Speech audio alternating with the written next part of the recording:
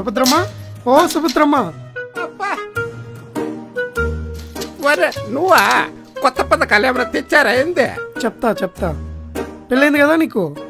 అయ్యింది. పదివేలు. మరి శోభనం? పెళ్ళి అయినాక సోపన్ దొరక్కపోతే పందులు ఒప్పుకుంటారా? అయ్యింది. ఆహా ఐదు వేలు. పిల్లకాయలు ఎంతమంది? ముగ్గురు.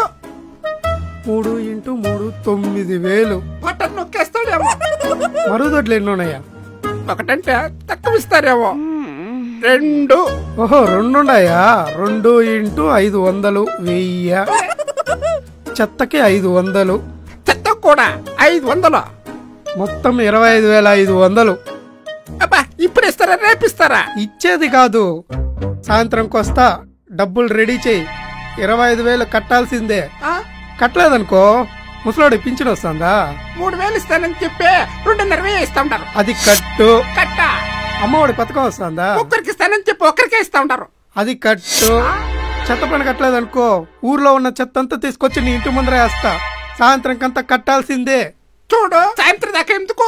ఇప్పుడే ఉండు ఇక్కడే ఉండు ఇప్పుడే వస్తా! ఆగండి. కొట్టాల్సింది ఇతన్ని కాదు. దుబారాతో ఖాళీ అయిన ఖజానాన్ని రోజుకొక కొత్త స్కీమ్తో నింపుకోవాలని చూస్తున్న ఈ ప్రభుత్వాన్ని. లేకపోతే తాతల కాలం నాటి ఇళ్ళు హక్కులు కల్పిస్తామంటూ ఓటీఎస్ అంటూ నిలువు దోపిడీ చేయాలని చూడడం న్యాయమా? ఖబర్దార్! కామెడీ అనుకుంటున్నారేమో. జరగబోయేది ముందే చెప్తున్నాం. ఎంబీఏ చదివాను. ఐదు వేల కోసం పని చేసుకుంటున్నాను.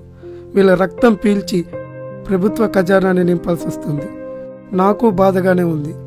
నాతో పాటు మీ అందరికీ మంచి రోజులు రావాలంటే బాబు రావాల్సిందే.